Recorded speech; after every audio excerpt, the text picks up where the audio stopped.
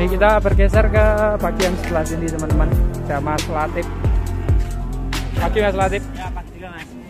Bawa berapa ekor telur? 8 ekor mas. 8 ekor. Sudah ada yang laku atau Belum, Mas. bagaimana? Masih komplit. Iya mas. Dari mana? Petetan. Iya, betul super. Petetan super teman-teman. Lapa Bapak Seno dan Mas Latif. Jos ini. Perkiraan nomor kisaran berapa ini? Perkiraan nomor 6 bulanan mas. 6 bulan. 6 bulan. Mantap.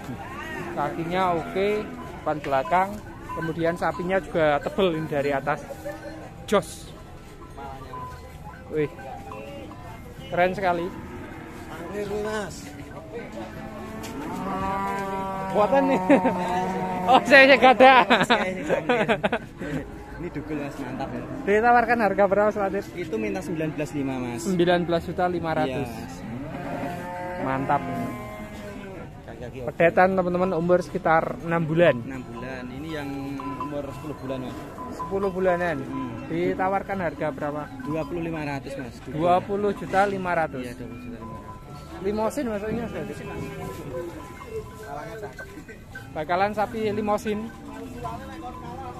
Kalau kualitas memang masih menangnya ini. Kalau dari umur lebih berumur yang sebelah sini. Jadi mantap. Coba dikeluarin mas, tak keluarin. Yang pedetan, boleh Mas Latif? Mau coba untuk dikeluarkan? Wih. Jos. Seperti itu teman-teman. Wih, keren.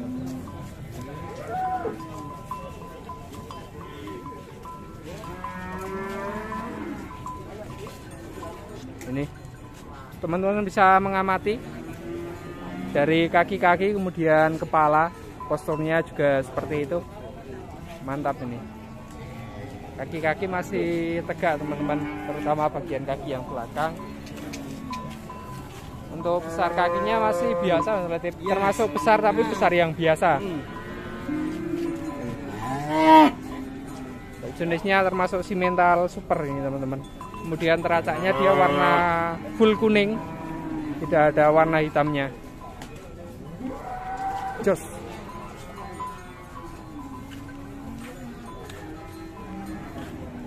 ini dari belakang masuk lebar detan pertama mantap kemudian yang hitam sebelah sini Pegon mas ini. harga berapa sebelah sini? Dua satu setengah mas. dua satu setengah Iya. Perkiraan umur kisaran berapa bulan atau berapa tahun satu tahun setengah mas. satu tahun setengah satu tahun kalau kaki-kaki oke ya Sobat? Oke oke mas. ini teman-teman bisa mengamati dibandingkan limosin yang sebelah sini oke ini malahan Ini kan ada crossnya metal mas. Kepalanya bersih. mantap jos kemudian sebelah sini cross mas. Limousine Tapi cross. Bukan mas. Harga berapa Dua satu tujuh ratus lima puluh mas. 21750 Lehernya. ini. Kayak ada punuknya Hmm, hmm, ada benarnya ini cross ada silangannya seperti sapi Madura. Madura. Ya, tapi lebih kental ke Nah, limosinnya Sapinya tebal mas. Untuk ini cuma untuk penggemukan loh ini mas. Iya. Untuk penggemukan jangka pendek gitu.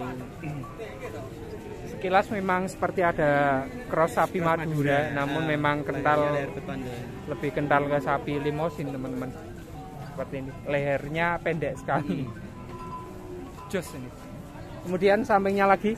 Dua tiga. 2-3 juta. Seperti ini teman-teman. 23 juta non poel atau sudah poel mas. Non semua ini mas dapatnya. jos. Non poel teman-teman. Kemudian sampingnya lagi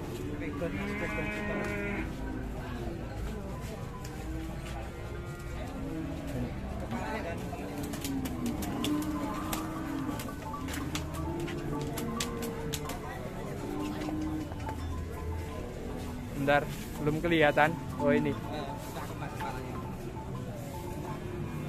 harga berapa mas Latif? Sama mas, dua tiga ini mas. 23 Dua tiga. dan paling ujung Paling ujung dua lima setengah mas. 25 setengah 23 dan 25 setengah oh iya warnanya mirip pisang geni kemudian dari tanduknya juga hampir sama ya Ah, hampir sama mas. tanduk hampir sama dan warnanya juga hampir sama Mirip. Memang kalau dari tanduknya lebih panjang pisang geni Tapi bentuknya memang seperti itu teman-teman. Kayaknya mirip mas ya. Mirip, J. Satu ibinya nih. ya. Ini seperti ini. Mirip pisang geni dari warna juga hampir sama teman-teman. Agak ke kuning atau ke putih-putihan seperti ini. Jos. Kaki-kaki oke, Kaki oke, depan belakang bisa teman-teman amati. Kemudian sapinya kalau dari panjang gimana Mas Latif? Panjangnya sedang mas. Sedang dia sedang. kalau Nah, tingginya dia di atas rata-rata. Jos. Cuman sapi belakang masih kosong ini mas. Kalau depannya udah Oh ini. Dari bagian belakang mirip pisang. Huh. Tanduknya mirip sekali bentuk tanduknya juga mirip. Keren. Boleh disebutkan nomor HP Mas Latif? 089 089 687 687 331 331 851. 851 Ini dengan Mas Latif. Iya mas. dari Pasar Hewan Muntilan Kabupaten Magelang teman-teman. Jos nih barangkali nanti ada teman-teman yang tertarik bisa kontak langsung beliau. Dan kurang lebih seperti ini untuk sapi-sapi yang dibawa oleh beliau. Kalau menurut saya memang paling super yang ini kalau yang paling ujung memang cukup menarik hampir mirip si Wisanggeni yang sekarang berada di Lembu Benggolo pemilik Mas Joko Jos. Kurang lebih seperti itu. J matur Mas Latif. Kita coba geser ke tempat lain. Demikian dan wassalamualaikum warahmatullahi wabarakatuh